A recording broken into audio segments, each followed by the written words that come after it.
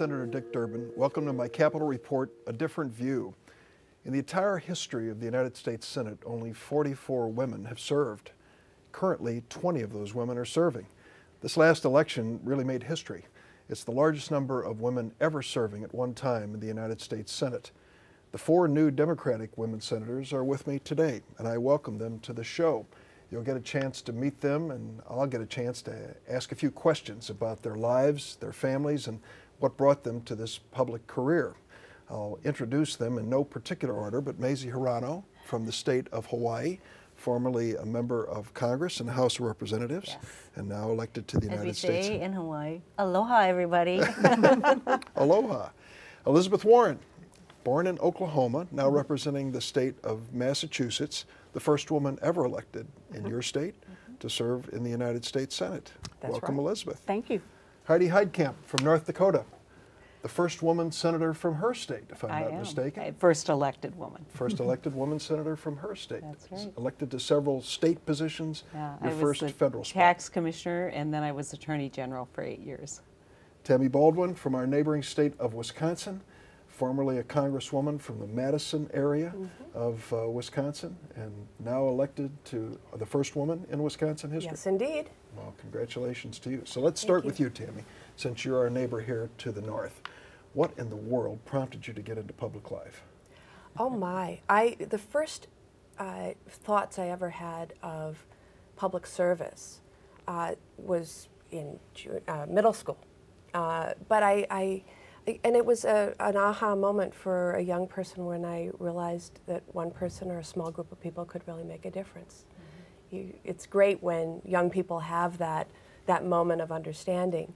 Uh, but it was a combination of my early interest and my passion about the issue of health care that prompted me to run for the Dane County Board of Supervisors as a first year law student. and uh, now I had a, a, a, particular mentor professor who was trying to counsel me uh, against that. He said, if you apply yourself, you could be a really great lawyer. And then he had a twinkle in his eye as he looked at me and said, but if you go for this running for office thing, you'll have my full support. And the rest is history. sure is. And Heidi, your background is not from a large town. Tell us about mm -hmm. where you were born and how you got into this business. Well, I grew up in a town of 90 people. Not 90,000, 90. My family was one-tenth the population. Um, we, my mother had uh, seven kids in nine years. And wow. after she had my brother Joel, who some people know, um, she gave up. That was it. she was done. Um, but but my mom was a school cook and a janitor, and my dad was a seasonal construction worker. And you know, when you think about it, you think about how does someone with that kind of background end up in the United States Senate? And it's only in a country like the United States of America where that happens, where we all have equal opportunity, or at least we did. And I'm here because people invested in student loans. Um, for, for middle class and lower income class kids and because people mentored me. And one great mentor for me was Senator Kent Conrad, and it is such an honor for me to be taking his seat. He's he's been a true friend and a, uh, a true mentor for me, and he's the one who forced me into elective politics. As I told him I was going to be with him all the way, he said, if you want to be with me, then run for something. Well, he was so excited when you yeah. announced you were going to run. He's a very good friend. Terrific guy. Kent yeah. Conrad, we miss him. Terrific senator. We're glad you're here. So, Mazie Hirono, mm. your family story is different than most. Very much so. In fact, when I talk about America as a land of opportunity, I speak from personal experience because I was not even born in this country. And my mother very courageously uh, plotted and planned in secret when uh, she was in Japan. And I never did get to know my father. Uh, because of the terrible family situation, but she plotted and planned to bring her children to this country so that we could have a better chance at life. And so she did that. I was almost eight years old when she brought me to a country I never even dreamed, dreamt of. Glad she picked Hawaii. Warm. really Lovely people. Um, but she showed me that one person can make a difference, and she changed my life. And she still you know, lives with us, and, and she is my continuing inspiration. But how I decided to make a difference through the political arena was when I was in college. And of course, you know, I, I paid my way through college through the work study program, so the federal support was there.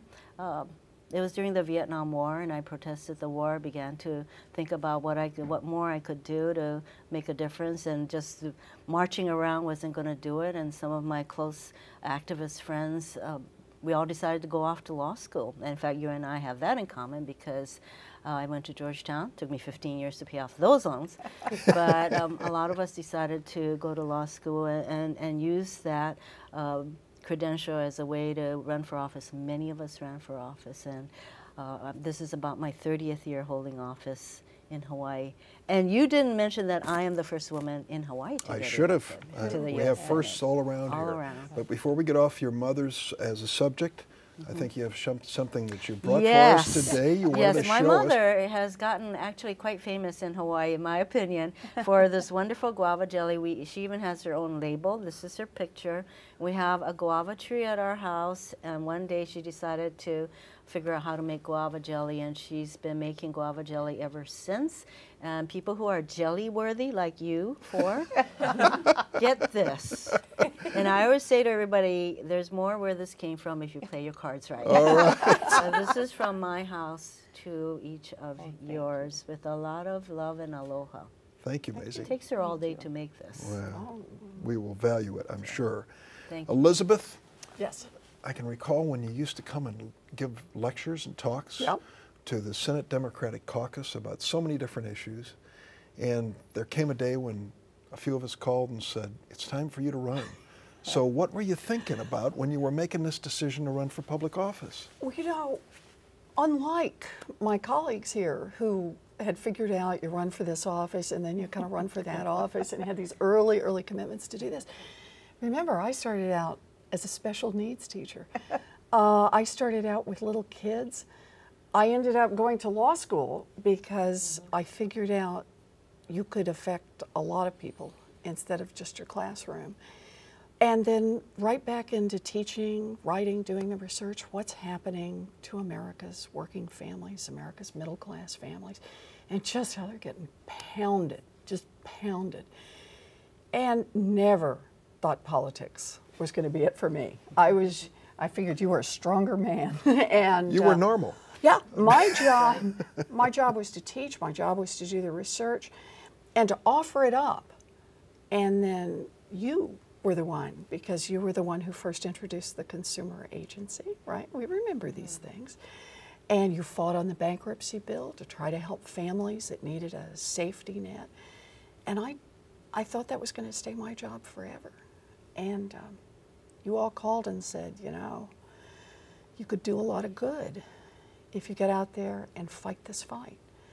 And um, so that's why I got into it. You it. What I find interesting, uh, there are so many women that are getting involved in politics at every level. And it's interesting, uh, my wife is helping a number of uh, young women, or women of all ages for that matter, to get involved and run for office in Illinois. And we've got to sit down and go through this explanation of how is it different when a woman runs for office as opposed to a man, or is it different? Heidi, what was your circumstance there? Well, I mean, I always, I always believe that at the end, when we talk about the women of the Senate, that we shortchange a little bit because we focus so much on gender.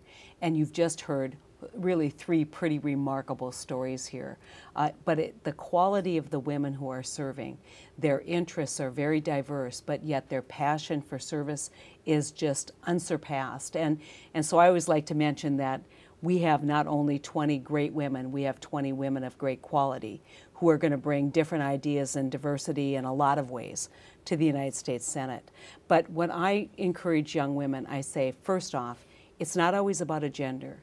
It, as, as, as we say, it is about making sure that we don't ignore half of the talent pool in this country when we're seeking leaders. Because if you say women aren't qualified, then you're taking half of the people and saying, we aren't going to look to you to leadership. I also think that we bring different life experiences, whether, whether it's, it's in academics or whether it's in politics or whether it's in uh, commercial law, whatever it is. we bring different experiences to the United States Senate, but we bring the experience of being moms or special education teachers, and we know the challenges there. Or understand the challenges of being pregnant, understand the challenges of, of wanting a different life for people who maybe their sexual orientation is a little different. So it's that diversity that really enriches the Senate, and we need it at every level.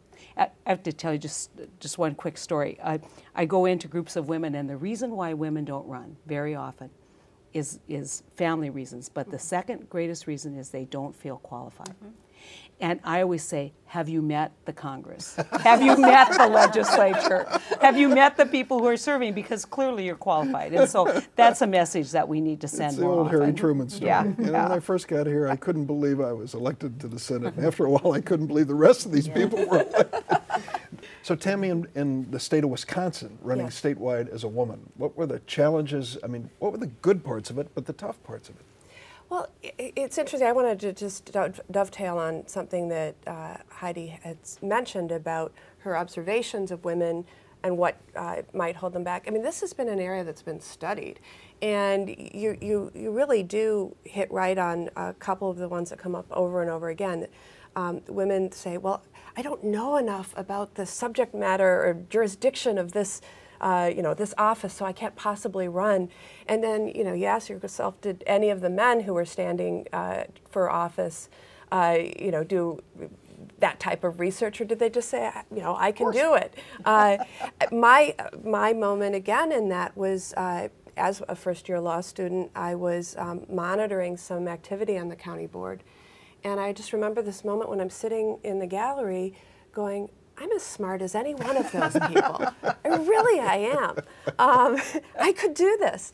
Uh, the other thing is, oftentimes women find they need to be asked, and you know, a couple of you said, uh, you know, somebody came and said you should think about doing this.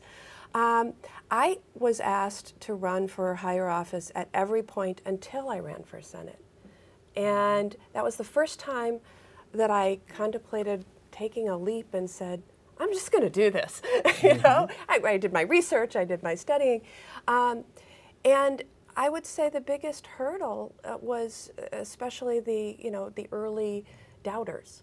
Uh, you know, a lot of people who said, "Oh, this is going to be tough." They've seen a lot of the changes yeah. that happened in Wisconsin politics. And you were running against a former governor. Well, at, at, when I got in the race, I wasn't. You know, there was I, I got in early, and uh, there was a four-way Republican primary.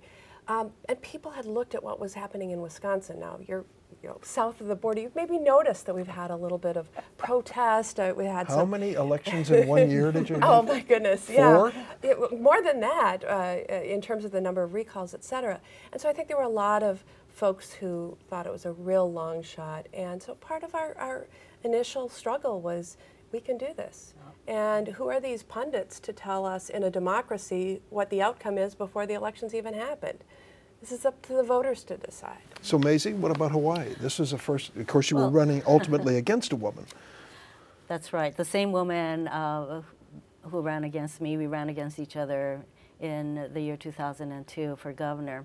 It is very true that for women, and there are studies now with more and more women running, there are more subjects to ask these questions. It matters to women that they are asked, that they are encouraged. This is why groups such as, entities such as Emily's List do matter because they come in and they provide us not only financial support, but all kinds of other support. Now, Heidi and I have the unique experience of having been our party's nominees for governor.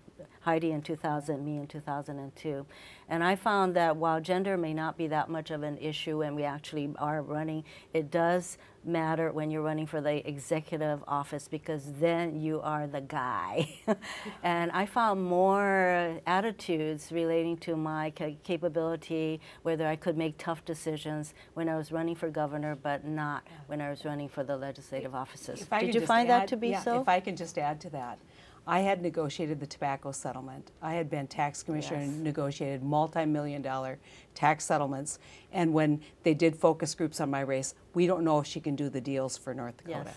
Toughness. Yeah, she's not tough enough for issue. North Dakota. And so, and, and plus they have a vision of a first family and people would say, you don't look like a governor. Mm -hmm. You know, yes. and, and, and ho hopefully we're going to change, but right now in this country there is only one Democratic woman governor.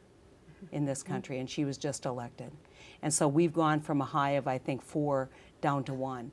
And so wh- where we celebrate what we're doing here, I think there is a whole unique set of challenges for mm-hmm. women running for governor. For governor, that's right, because the executive office is a very different kind of office. People have different attitudes and expectations. I found that out.